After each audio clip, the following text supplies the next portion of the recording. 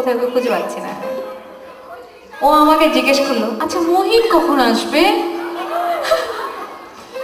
মানে এখন মহিনের জনপ্রিয়তা মেয়েদের থেকে আস্তে আস্তে বাচ্চা বাচ্চা থেকে বড় সবার কাছে।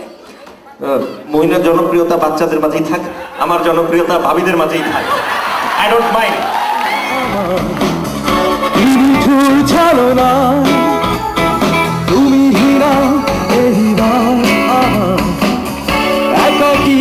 हो हार